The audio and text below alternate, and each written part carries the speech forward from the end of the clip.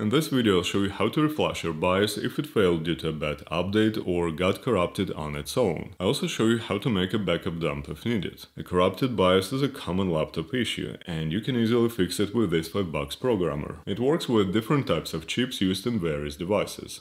It comes with a bunch of adapters for different chip sizes and voltages, the links in the description. I've got a Dell board here that powers on, all voltages are fine, but no picture and it shuts off after a minute, so I think the BIOS might be corrupted. Let's try to fix it. First download and install the driver, the links down below.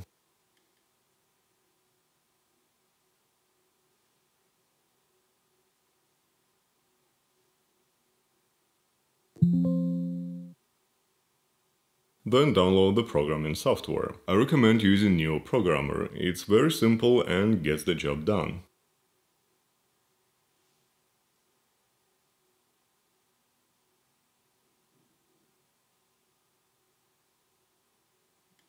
Now let's take a look at the USB programmer. As you can see the connector is split into two sections. For flashing a BIOS chip, use the side labeled 25 SPI BIOS. For other chips like EEPROMs, you'll use this side.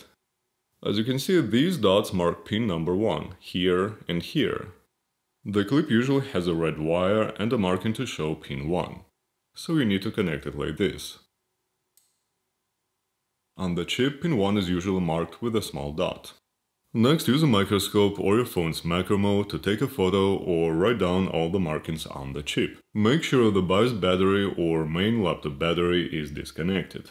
Now carefully attach the clip to the chip, with the red wire going to pin 1. Then plug the programmer into USB port.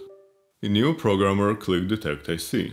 If you get an IC not responding error, just reconnect the clip and try again. Once detected, select the exact chip model from the list, or you search if it doesn't show up. After selecting the chip, the software will display the correct placement and operating voltage. Most common chips run at 3.3 volts, which this programmer provides, but if you have a 1.8 volt chip, you'll need to use this voltage adapter. Attach it to the programmer like so, then connect the clip. Just make sure to check your chip's datasheet before you start, so you know which voltage it needs. Once the chip is recognized, click Read IC. When it's done reading, save the BIOS file. Here it is. That's how easily can back up the original firmware from any BIOS or EEPROM chip. Now let's download and write a new BIOS. Finding the right file is often the trickiest part. You need a bin file, so check your device brand's website first. If they only offer .exe, you can extract the bin file using some YouTube videos. You can also check laptop repair forums and request file if needed. Here's my new BIOS file. Click Open File.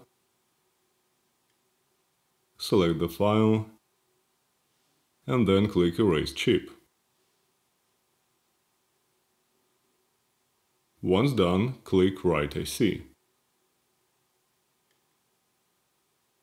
And that's it. As you can see, reflashing the BIOS fixed the laptop.